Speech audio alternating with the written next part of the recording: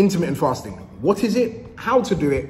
And what are the benefits? Before we get into this episode, let's kick it off with the journal entry prompt of today. Today's prompt is my favorite city in the world is. It'd have to be a toss up between Dubai and my hometown, London. But if I had to choose London in the summer, Dubai all year round. That's cheating because I chose two.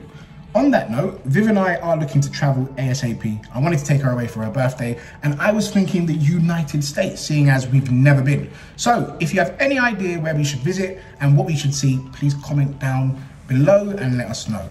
United States for your birthday. What do you think? Yes. Yes?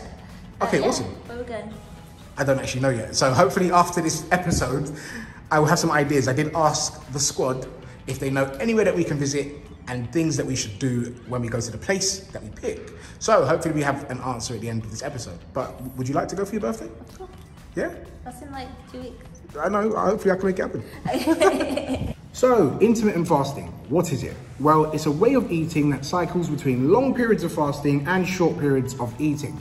It's used for weight loss management and in some instances medically to help prevent and reverse some diseases. So how do we do it? Well, there are several methods and we're gonna cover some of the popular ones in today's episode. But first, a very important warning and message. Intermittent fasting is not for everyone. If you have a medical condition, you're underweight, you have an eating disorder or fertility issues, please, please, please make sure to consult a medical professional before you start any type of fast or diet. Let's have a look at these popular methods. The 16-8 method. You have an eight hour eating window and then you do a 16 hour fast.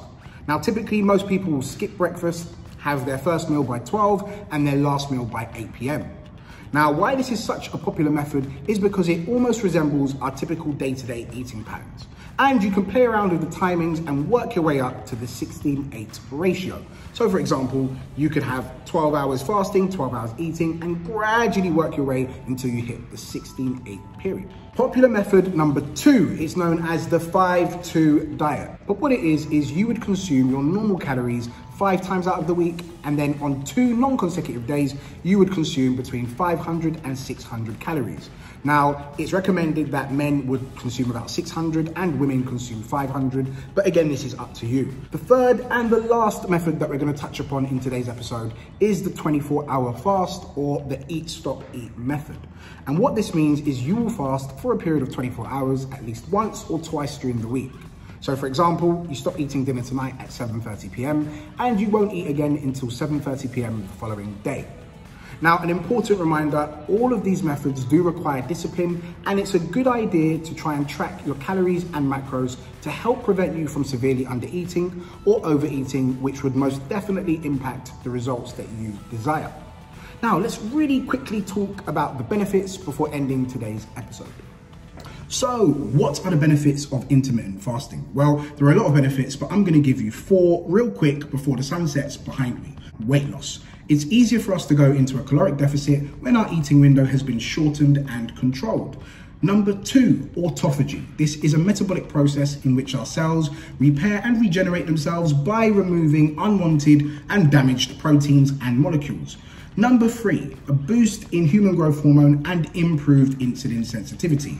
This makes stored fat a lot more accessible, making it easier to burn fat as a fuel. And number four, studies have shown that intermittent fasting can help reduce inflammatory markers. Those are just four benefits out of several. I'm gonna try and list some more on the screen. Now, very quickly before I end this episode, there are some things that you should be aware of. Drink plenty of water when you're doing your fast. You can have coffees and teas as long as you don't add sugar and milk as these can boost your insulin and break your fast.